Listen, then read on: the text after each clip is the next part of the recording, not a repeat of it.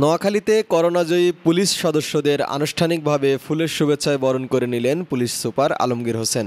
Police line হলরুমে জেলার নয়টি থানার কর্মরত করোনা আক্রান্ত একশো একান্ন জন পুলিশ সদস্যের মধ্যে করোনাজয়ী একত্রিশ জন পুলিশ সদস্যের হাতে ফুল তুলে দিয়ে পুলিশ সুপার বলেন, দেশের করোনা ক্লান্তিতে জনগণকে সচেতন এবং সেবা দিতে গিয়ে করোনা আক্রান্ত পুলিশ সদস্যদের মনোবল বৃদ্ধির জন্য জেলা পুলিশের পক্ষ থেকে এই উদ্যোগ গ্রহণ করা হয়েছে। এ সময় আরও উপস্থিত ছিলেন অতিরিক্ত পুলিশ সুপার দীপক জ্যোতি খিসা, সদর সার্কেল অতিরিক্ত police super Khaled Ibne Malek, Begumganj circle police super Shahjahan Sheikh, police লাইনের মেডিকেল অফিসার সুব্রত ক্লান্তি সুনীল প্রমুখ।